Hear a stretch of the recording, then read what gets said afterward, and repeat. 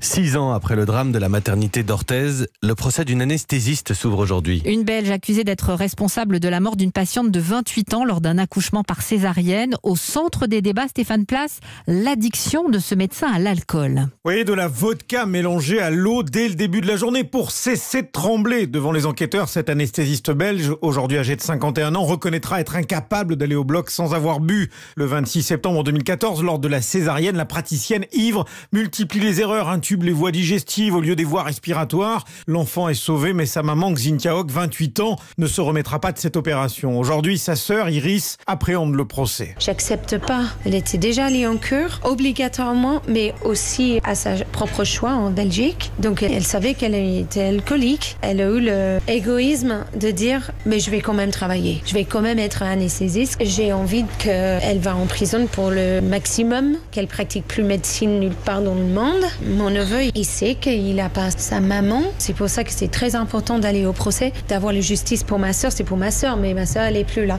Mais mon neveu, il est là. Un accouchement qui se transforme en cauchemar et une famille qui attend des explications et une condamnation pour pouvoir répondre aux questions que posera un petit garçon aujourd'hui âgé de 6 ans. Stéphane Place à Pau pour Europe 1 où ce procès s'ouvre cet après-midi.